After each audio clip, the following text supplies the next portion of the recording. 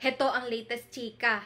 Ready-ready nang magkaroon ng apo ang TV host actress na si Carla Estrada sa magiging anak ng celebrity couple na sina Catherine Bernardo at Daniel Padilla. Yan ang proud na sinabi ni Carla sa Showbiz Press nang matanong tungkol sa mga ganap sa buhay ni Kat at DJ. Ayon pa sa TV host, okay lang kahit ilan pa ang maging apo niya sa Katniel. Sabi pa niya, mas marami, mas masaya at willing daw siyang alagaan ang mga ito. Pakiramdam din daw ni Carla na gusto nang magpakasal ni Daniel. Gayunpaman, ang Katniel pa rin daw ang magdedesisyon kung ano ang gusto nilang mangyari sa kanilang buhay.